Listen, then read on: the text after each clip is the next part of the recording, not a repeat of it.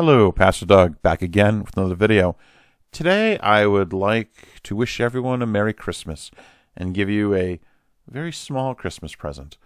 This is a quote I recently found from reading a sermon by the great Augustine of Hippo some 1600 years ago, and I was staggered by it. It brought me great joy, and I've been pondering it now for a week.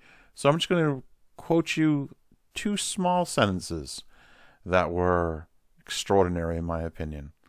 Augustine writes, or more accurately, Augustine preached Born of his mother, he, Christ, commended this day, Christmas, to the ages, while born of his Father, he created all ages.